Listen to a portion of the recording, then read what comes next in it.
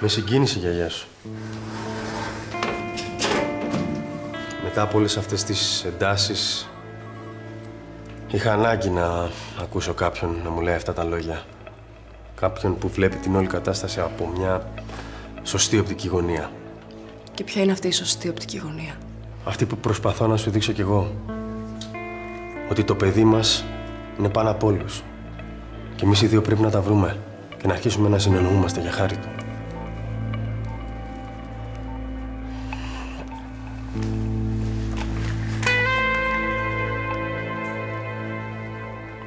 Άκου τώρα. Να σκάσει μύτη, κυρία Χρυσάνθη,